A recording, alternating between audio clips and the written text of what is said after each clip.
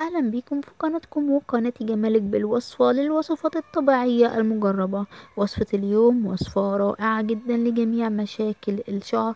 بمكون واحد فقط يقوم بتطويل الشعر إيقاف تساقطه ويقوي الشعر ويكثفه وأيضا يقوم بإنبات فراغات الشعر مع الاستمرار في استعماله.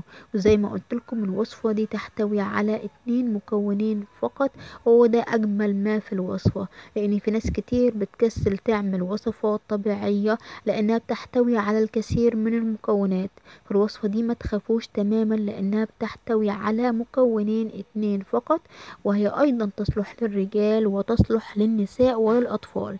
فإذا كان شعرك متضرر من الصبغات والكرياتين أو غيرها فالوصفة دي هتعالج كل مشاكل الشعر. المكون اللي أنا بكلمكم عنه هو أول مكون هو السمسم. السمسم رائع جدا جدا وتم وتمنه رخيص وده أجمل ما في الوصفات الطبيعية إن بيكون تمنها رخيص وأيضا بتكون فعالة. السمسم يقوم بتقويض بصيلات الشعر ستحصلي على شعر طويل ناعم وكثيف ويعالج أيضا كل مشاكل الشعر ويعالج الجفاف. الوصفة دي مع الاستمرار عليها هتلاحظي إن شعرك المجعد سيصبح ناعم وطري بدون تجاعدات ابدا سيصبح طويل وناعم. قبل ما نبدأ طريقة تحضير الوصفة ما تنسوش حبايب قلبي ال like للفيديو عايزة لايكات كتير جدا عشان الفيديو ينتشر وغيركم يستفاد منه. ولو لسه مشتركتيش اشتركي بسرعة علشان يوصل لك كل جديد. اولا كده هنبدأ نجيب الحلة بتاعتنا وهنبدأ نضيف المكون الأول. هو السمسم هنضيف حوالي اتنين معلقة كبار من السمسم. أي نوع متوفر عندكم سواء السمسم الأحمر السمسم الأبيض أي نوع. بعدها هنبدأ بإضافة المكون التاني هو القرص الأبيض. هنضيف حوالي معلقة كبيرة من الأرز الأبيض وبعدها هنبدأ ننزل عليهم آخر حاجة وهي المية. هنضيف حوالي اتنين كاس من المية. طبعا أنا في الوصفات بتاعة الشعر بفضل استخدام الأرز الأبيض المصري مش الأرز البسمتي. ليه؟ لأن الأرز الأبيض بيحتوي على نسبة عالية جدا جدا من النشويات اللي بتعمل على علاج الشعر المجعد وبتفرده كأنك بالظبط عاملة كرياتين. وده من أسرار شعر الصينيات. الصينيات بيستخدموا الوصفة دي بانتظام علشان كده دايما بتلاحظي إن شعرهم بقى ناعم وجميل جدا. بعد وضع المكونات دي كلها توضع المكونات على النار لمدة عشرين دقيقة مع تقليب المكونات من حين إلى آخر لكي لا تحترق الوصفة. بعدها نترك المكونات تبرد تماما لمدة ساعة إلى ساعتين. مع تخطيط المكونات جيد جدا لأن السمسم بيحتوي على زيوت مش عايزين تتبخر في الهواء عايزين نحتفظ بيها. فطبعا تغلقي على المكونات جيد جدا وتتركيها تبرد تماما لمدة ساعة إلى ساعتين. بعدها هتلاحظي إن لون المية اتغير وأصبح لونه مائل إلى أبيض. وكمان هتلاحظي إن حجم الأرز الأبيض تضاعف حجمه ونفش كده يعني حجمه تضاعف أكتر من الأول. وبكده تكون الوصفة جهزت معانا. الوصفة دي من الوصفات اللي هي ملهاش روائح تماما عكس البصل والثوم اللي معروف إن ريحة الثوم بتبقى قوية لكن الوصفة دي لا تحتوي ابدا على رائحة كريهة. يعني ريحة السمسم يعتبر تكون خفيفة جدا وكمان ريحته حلوة جدا. طبعا القرص برضو ملهوش آه رائحة نفاذة.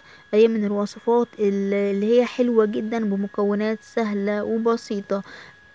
بعد ترك المكونات تبرد تماما لمدة ساعتين. بعدها هنبدأ في الخطوة التانية وهي تصفية المكونات. هنصفي المكونات بتاعتنا بالمصفى أو بالفلتر للحصول فقط على خلاصة الوصفة.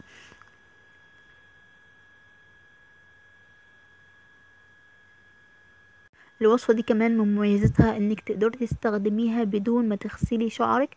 وهقولك إزاي. بلاش تستخدميها من تلقاء نفسك لأن في ناس كتير بتجرب الوصفات الطبيعية يعني تتفرج على الجزء الأول أو الشق الأول من الفيديو اللي هو طريقة التحضير وبعدين ما بتتفرجش على الفيديو للآخر وبتستخدم الوصفة من تلقاء نفسها وبترجع تشتكي تقول إن الوصفة ما جابتش معاها نتيجة وده طبعا لسوء استخدام الوصفة. فمن المهم جدا تتابعي الفيديو للآخر وركزي معايا علشان تعرفي طريقة استعمال الوصفة لكي تنجح معاكي وتديكي أفضل النتائج المرغوبة. بعد تصفية المكونات بالمصفى أو بالفلتر بعدها هبدأ أجيب القمع بتاعي والزجاجة اللي بيبقى فيها بخاخ علشان الزجاجة دي بتسهل عليكي طبعا إن أنتي آه، تستخدمي الوصفة وتبقى سهلة معاكي في التوزيع. هبدأ أجيب القمع وأبدأ بوضع جميع المكونات في البخاخ بتاعنا. الوصفة دي كمان صالحة لمدة أكتر من سبع أيام أو أكتر من أسبوع أه تحتفظي بيها في برطمان زجاجي وتضعيها في التلاجة. بس أهم شيء آه، اوعي تحطيها في برطمان بلاستيك لأن البرطمان البلاستيك بيعمل على إفساد المكونات وأيضا يعمل على فقد فوائد الوصفة. فاحتفظي بيها في برطمان زجاجي وليس بلاستيك واحتفظي بيها في التلاجة إلى حين استخدامها.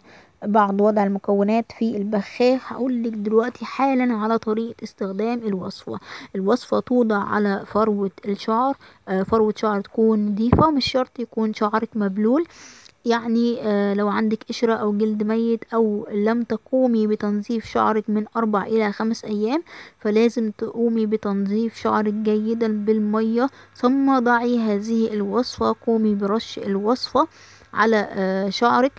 ثلاث مرات آه، في اليوم يعني مرة صباحا ومرة مساء ومرة في الليل قبل أن تنامي. وضعيها على كامل شعرك.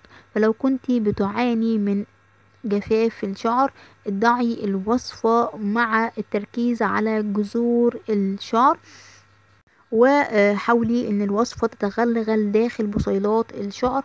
أما لو كنتي بتعالجي شعرك من الكيماويات الصعبة آه، والعنيدة فضعيها فقط على فروة الراس وكامل الشعر واعملي مساج للشعر واتركيها آه، على الشعر وابدأي بوضع بنيه على شعرك آه، واتركي الوصفة لمدة طبعا ساعتين إلى ثلاث ساعات.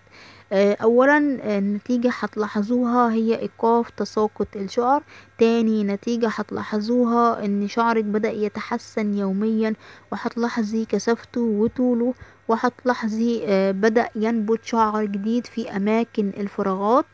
أهم شيء الاستمرار على الوصفة واستخدامها بالطريقة المظبوطة عليها وتبتعدي تماما عن أي شامبو بيحتوي على مادة السيليكون لأنك أنت لو بتستخدمي شامبو بيحتوي على السيليكون يبقى مفيش أي وصفة هتنجح معاكي. فده دي حاجة مهمة. بكده اكون وصلت لنهاية الفيديو. أتمنى منكم حبايب قلبي دعمي باللايك لتشجيعي على تنزيل المزيد من الوصفات الطبيعية.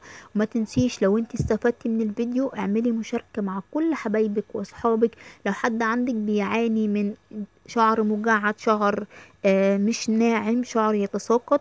اعملي مشاركة للفيديو ده معاه. يمكن هو كمان يستفاد. الوصفة صالحة للرجال وأيضا للنساء وللأطفال. أي حد يقدر يستخدمها مفيش منها ضرر بالعكس نتائجها رائعة وجميلة جدا. كل عليكم إنكم تداوموا عليها وهتشوفوا النتائج الملحوظة من أول أسبوع.